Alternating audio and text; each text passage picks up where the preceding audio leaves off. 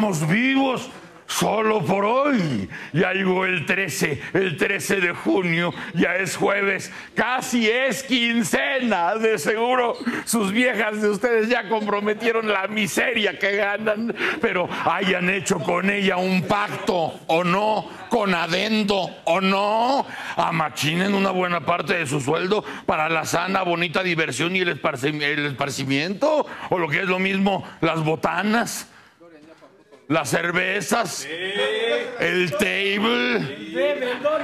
Desde luego, alguien que se respeta, señor, por lo menos cada 15 días un privadito y está bien. Es inversión. Es, inversión. Han trabajado mucho, se merecen un relax del alma y del cuerpo. Pero no más, no más esperan porque les pagan hasta mañana. Si bien les va, mientras llega la lana, mientras llegan las pacas de lana a sus carteras. Hasta te parece nierga.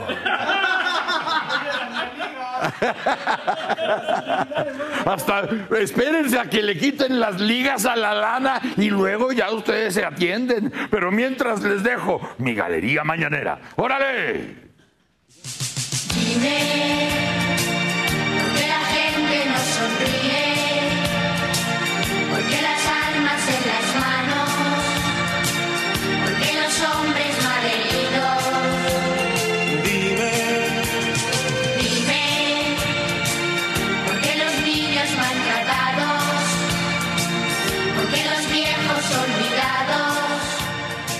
Muchachos, esta, esta, bonita, esta bonita obra de arte se apellida Giuliani Comeback.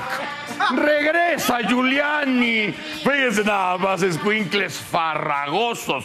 Roberto Campa, subsecretario de Gobernación, soltó la sopa de que el barrio de Tepito podría estar entre las 57 zonas que le están atorando al programa nacional para prevenir la violencia y la delincuencia. Campa está confiadísimo en que las faramayas que han arrastrado en las últimas semanas el buen nombre del Distrito Federal sean pasajeras. Le echó el hombro al gobierno de la ciudad con el que dijo que trabajan codo a codo, piel con piel, mano con mano, en silencio. Aleluya. Campa dijo que se reunió con funcionarios de la alcaldía de Los Ángeles, de LA. You know, Campa estuvo platicando con ellos para estudiar las prácticas internacionales en el tratamiento de bandas de gandallas para ver si aquí funcionan. Por eso decíamos, bueno, otra vez Giuliani, a ver a quién traen ahora, a ver si echándole montón a las broncas de seguridad y violencia, la podríamos librar. ¡Órale! Cuando llegué a mi casita, me decía mi prenda amada. Otra te tocó, la de yo multite, el patrón se lo llevó con lo que debe la hacienda, pero me dijo el patrón que contara con la tierra, ahora voy a trabajar para seguirle abonando 20 pesos y centavos, nuevos pesos. Son los que hago restando, me dice mi prenda amada, no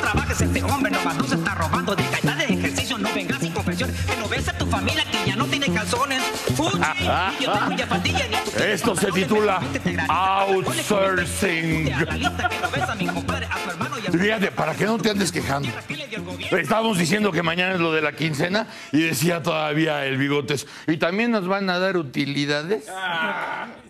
A todos, todos. A todos, todos, todos. A todos, todos, todos. Empezando por ti. Vas a ser el primero ahí de. Como pollo río, así, mira, como pollo río. A ver, vamos a ver. No, ese es tu bono.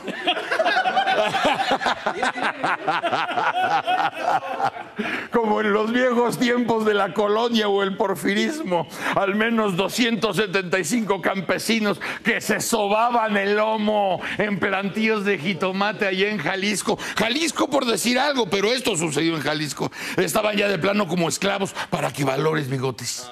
Para que valores. Aquí por lo menos tienes Peñalosa no es tan malo.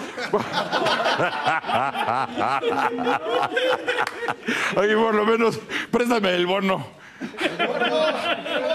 Préstame el bono. Ahorita, ahorita desayuna, rey.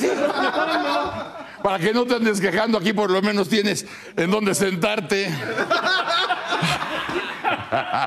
Los jornaleros de Jalisco dijeron que los engañaron para trabajar ahí en el campo de Jalisco, que los trataban como animales. Se supo de las gachas condiciones en las que los tenían porque tres de ellos lograron huirse y denunciaron que los ponían a chambear de sol a sol y que dormían amontonados en cuartos de seis metros cuadrados. Estos compas, la mayoría de origen indígena, fueron traídos de Veracruz, de San Luis Potosí, de Hidalgo. Miren nada más, esto está sucediendo en México en pleno siglo XXI. ¡Órale!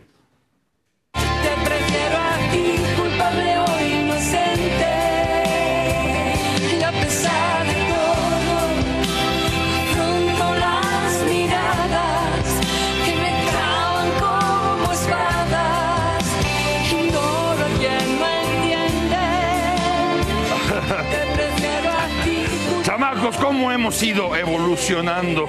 Vean ustedes esta obra. Nos habíamos quedado en el haya sido como haya sido. Ahora ya superamos esa barrera y ahora es haya ido como haya ido. El desgarriate con el químico Granier y sus compinches sigue a todo lo que da. El exgober se presentó tempranito. De... Bueno, pues es la hora que nos sale. Se presentó ayer a las 10 de la mañana, ¿no? A las 10 de la mañana el consejo del abogado, güey. Preséntate tú a ver de qué se te, de, qué se te está culpando.